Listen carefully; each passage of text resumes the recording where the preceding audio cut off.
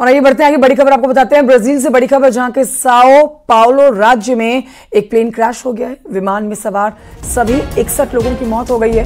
तस्वीरें आप देख रहे हैं, प्लेन क्रैश के दौरान की प्लेन विनहेडो शहर में क्रैश हुआ है। हर कोई इन तस्वीरों को देखकर हैरान है।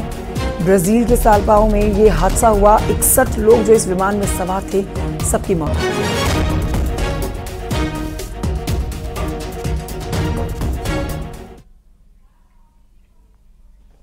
प्रधानमंत्री नरेंद्र मोदी के लोकार्पण करने के ठीक पाँच महीने के बाद मुरादाबाद हाईवे, हवाई अड्डे से उड़ान का सपना पूरा हो गया है। मुरादाबाद से लखनऊ के लिए उड़ान शुरू हो गई है। दस बजकर दस मिनट पर ये विमान लखनऊ के लिए उड़ान भर चुका है। प्रधानमंत्री नरेंद्र मोदी 10 मार्च 2024 को मुरादाबाद हवाई अड्डे का उद्घाटन कर चुके हैं। प्रदेश के मंत्री धर्मपाल सिंह और बलदेव सिंह ओलख ने पहली उड़ान का उद्घाटन किया है। पहली बार मुरादाबाद से यात्रा कर रहे यात्रियों में भी खुशी देखी गई है।